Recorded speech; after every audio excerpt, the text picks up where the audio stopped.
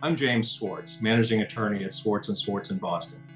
So in Massachusetts, there are claims that you can pursue if you've been bitten or injured by a dog. There's a specific statute in Massachusetts which essentially lays out your rights when you consider what action to take. So that statute requires a few things. First, that you were not trespassing on someone else's property at the time the dog bit you or attacked you. Second, that you were not torturing or tormenting the dog in some way at the time the incident occurred. As long as those elements are not there, you may have a strong claim if you've been injured by an animal or a dog. Also, if the injured party is a child under seven years old, it's presumed under the statute that that child has not been trespassing or tormenting the animal in any way. And that's important to understand because those presumptions, once removed, take away those hurdles in terms of pursuing these claims.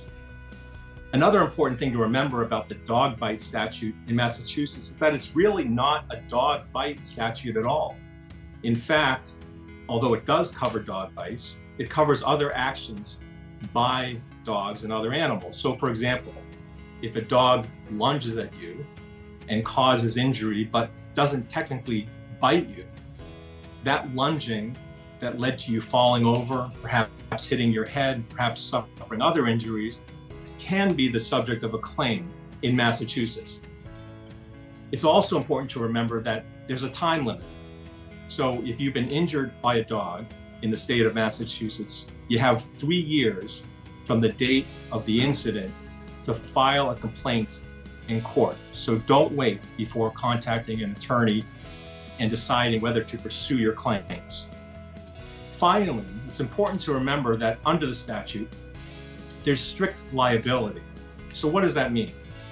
It means that in terms of proving your case, you don't need to show that the owner of the animal was aware that their dog had a propensity to cause injury.